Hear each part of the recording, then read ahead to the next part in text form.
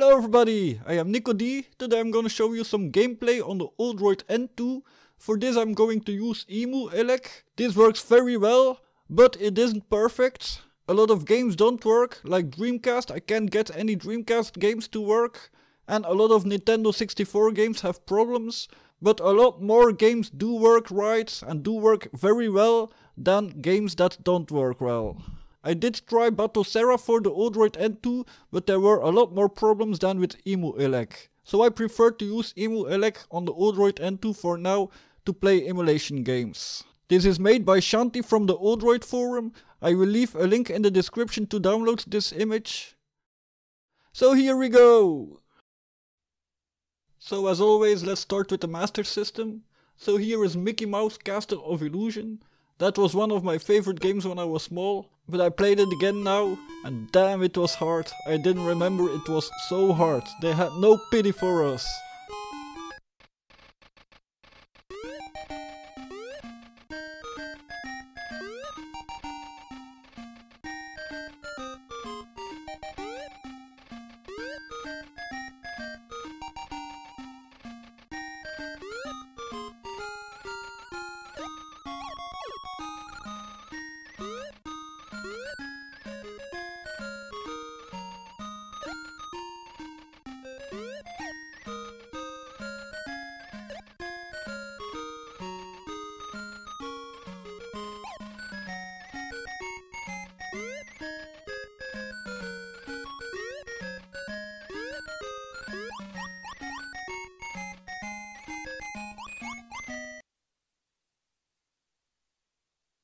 Here's Ghostbusters for the Master System. This must be one of the most awful games that was ever made. I remember hiring this game at the video store and every cent I paid for it was way too much. This is just an awful game.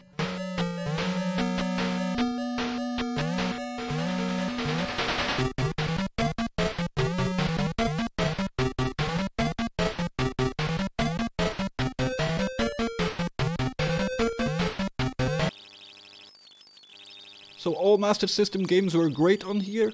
On Batocera this wasn't the fact. The whole image was shifted and you didn't see everything on your screen. So now let's go to the Super Nintendo. Here is the Addams Family. I don't know what I'm doing, so I'm just doing something.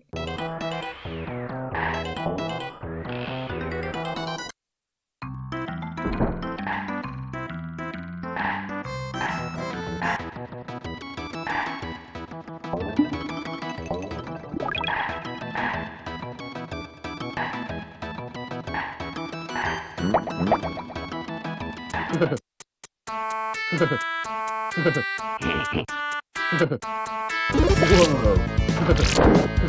yeah.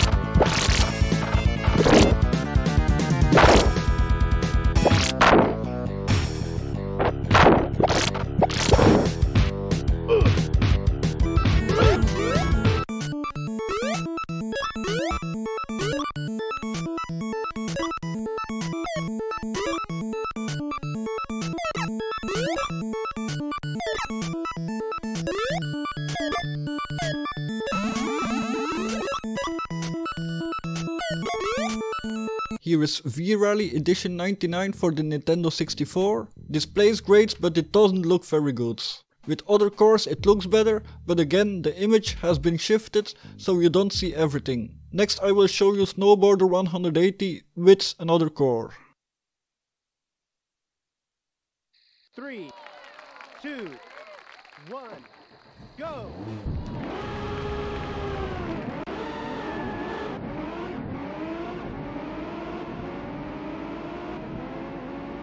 Medium left. Easy left.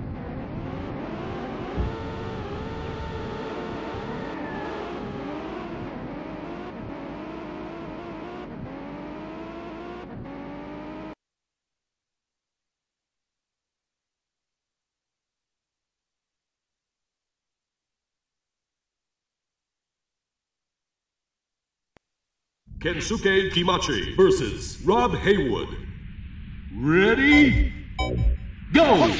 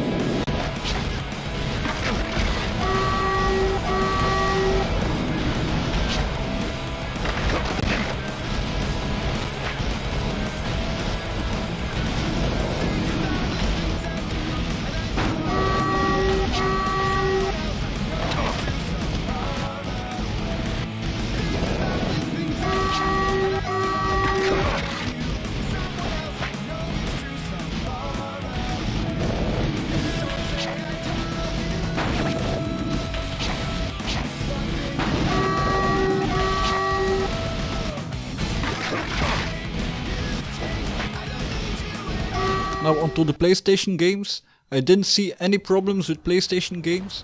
All the games I've tried worked. So here is Tony Hawk Pro Skater 2.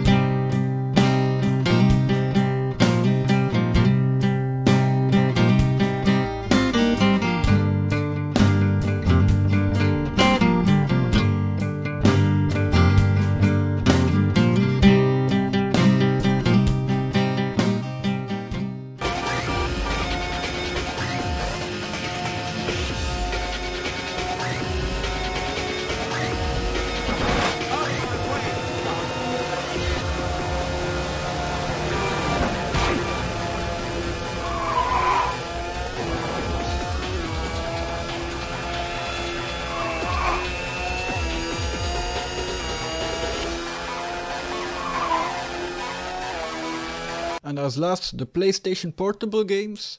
Most games do work very well, they work better than on the RK3399s, but not all of them work well. Like here with Burnout Legends, it suddenly exits the game, and with Tokka there is a lot of artifacting, that was also on the RK3399, but the frame rate is a lot better than on the RK3399s. So this shows that the Odroid N2 is very powerful for these things.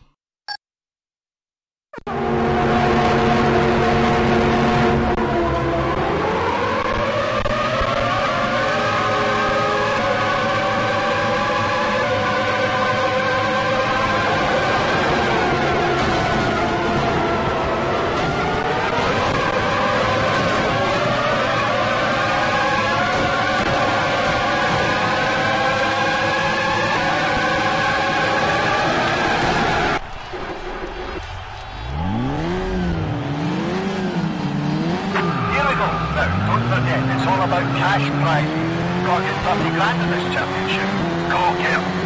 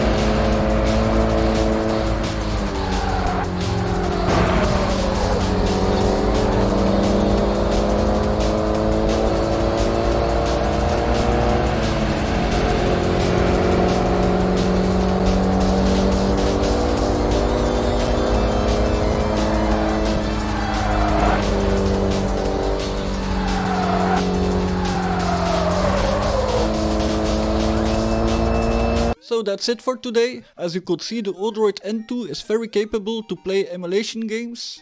But there is still a lot of work that needs to be done to get things better. Certainly for Nintendo 64 and for PlayStation Portable things can improve a lot. And I hope Dreamcast can be fixed also. That did work on the RK3399s. I did see an improvement with some games compared to the RK3399s. Certainly for the PlayStation Portable games, the horsepowers of the Odroid N2 show, but for now it isn't perfect. But with Nintendo 64 games there are always problems. So that is not only with the Odroid N2, also with the PlayStation Portable games. It's best to use a PC for those. But do keep in mind that this is the first version of EmuELEC, so things can improve a lot. The Odroid N2 is still new, so we can all expect things to improve a lot. I did record a lot more consoles like the NES, but my capture device its sound stopped working, so I couldn't use all those images. So thank you all for watching, I hope you liked my video, please subscribe to my channel, see you later, bye!